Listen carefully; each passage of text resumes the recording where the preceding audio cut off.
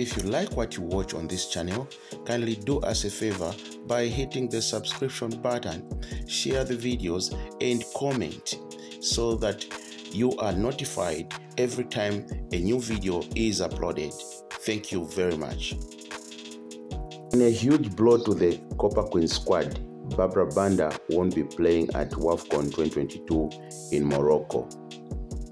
A situation that the Chipolopolo goalkeeper Hazel Nali has described as devastating for the team because Barbra Banda's presence means a lot for the team and Zambia because of the amazing things she has done in the past and the amazing personality she holds.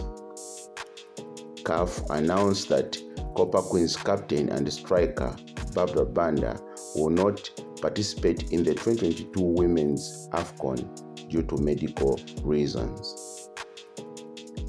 The Football Association of Zambia, FAZ, confirmed the development in a statement on July 1 that Chipolopolo's Barbra Banda will not be on the 2022 WAFCON final official squad list.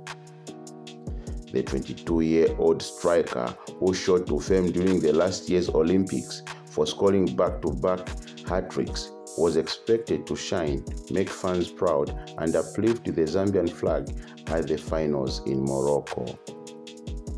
The WAFCON starts on Sunday with Zambia playing their first game against Group B's rival Cameroon.